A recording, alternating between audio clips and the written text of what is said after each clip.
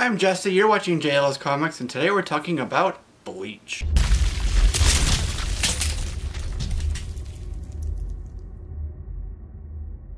Live action anime adaptations here in the Western market have traditionally struggled. I mean, we had Death Note, Dragon Ball Z, which we should never talk about, Ghost in the Shell, Full Metal Alchemist, and the list goes on, but hopefully, I think now that trend might be turning around now that we have Bleach. Bleach was originally launched in 2001 in Weekly Shonen Jump by Tite Kubo.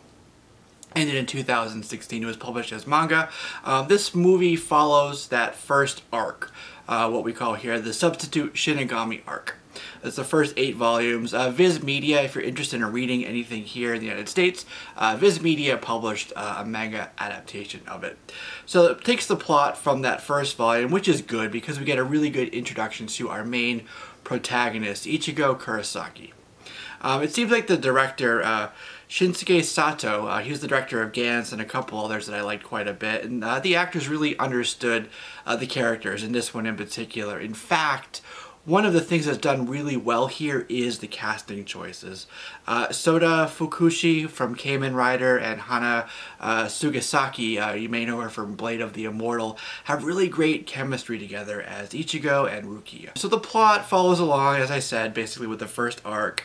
Uh, Kurosaki has the ability to see spirits. He meets Rukia. Uh, Rukia's job is to lead good souls into an afterlife that they call the Soul Society while defending uh, against evil spirits that are known as hollows.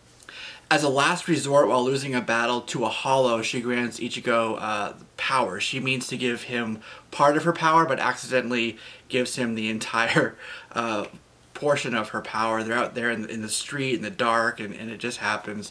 Uh, so she grants him the power of a full power of a Shinigami or a Soul Reaper. So he has to defend the living against evil hollows. Uh, Rukia takes on a human form because uh, he gave her all the powers, and that's really forbidden in Soul Society um, culture. Rukia can't return unless he grants all of her power back to her, and he's an untrained Reaper, so the Hollows and all these other spirits are targeting him. So that's basically the premise for this. Uh, that said, if you haven't seen or read Bleach before, uh, you'll still find yourself enjoying this and understanding, you know, the mythology with the Soul Society, who the Reapers are, um, you know, why it's happening. They do a really good job of explaining what's happening uh, without resorting to long periods of exposition. There's the uh, the requisite uh, training montage where they have really cool scenes with some kendo sticks um, and through that and through that device of him just coming into this world and having to learn the mythology she's explaining it to him but also to us so they do a really good job of that keeping it really concise and simple uh, so that everybody is able to understand it. So you will like how this is translated. Uh, there are a couple things that are different, uh, like Renji and Rukia are actually both adopted in, in this. Um, so it's different, but still wholly familiar. Um, one thing I did like about this, probably one of the standouts, is the fight scenes. The fight scenes are really dynamic, really uh, fast-paced and really, really intense. Uh, one thing that I would have liked is if they'd pan back. There's a couple scenes where they are basically destroying a city block, um, and it's nice to see kind of that, you know, devastation there a little bit out. So they keep it somewhat tight, and there is a somewhat modest budget for this as well. And that final battle is worth seeing this alone. Uh, the movie is 108 minutes long. It is fast paced um, and it does uh, keep you going all the way through. There are some points where we do get some really surprisingly deep emotional beats. You know, and again, it goes back to that chemistry between Rukia and Ichigo. Uh, really surprising and really well done. So we get some of that intermixed between the fast pace and the action. It's done really well. Pacing is great. Uh, there is a rather large cast here, and because it is relatively brief of a movie, it is hard to fully develop everybody. Uh, however, the focus of this really does lie on Ichigo and Rukia, uh, which is fine. Uh, I really wanted to see more of uh, Rukia fighting. She's really cool as a Soul Reaper. Really want to see more of that. A couple other characters are relatively underdeveloped, but like I said, that's kind of expected with the length of the film being uh, somewhat abbreviated, uh, and the quicker pace of the film. Rukia was a, a badass, like I said. Uh, her, she had her first fight, and then one thing that I wish was that she wasn't reduced to just a human, just kind of sidekick, trainer, the guide for Ichigo. I wanted more from her.